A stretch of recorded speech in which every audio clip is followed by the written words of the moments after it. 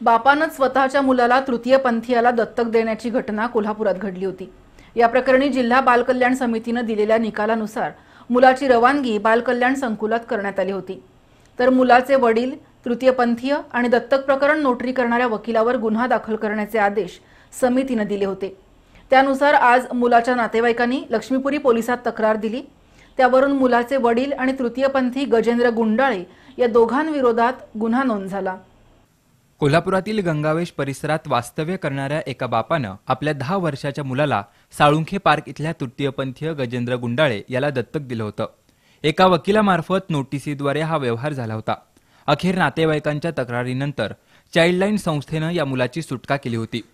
जिल्हा बाल कल्याण समितीनं यावर सुनावणी घेऊन तो मुलगा बाल संकुलाच्या स्वाधीन केला होता. आणि मुलाचा बाप तृतीयपंथीय आणि नोटरी करणाऱ्या वकिलावर गुन्हा दाखल करण्याचे आदेश संमतीनं दिले होते. त्यानुसार आज संबंधित मुलाच्या नातेवाईकांनी लक्ष्मीपुरी पोलिसात तक्रार दिल्यानंतर मुलाचे वडील आणि तृतीयपंथीय गुंडाळे या दोघांविरोधात गुन्हा नोंद झालाय. लवकरच त्यांना अटक होण्याची शक्यता आहे.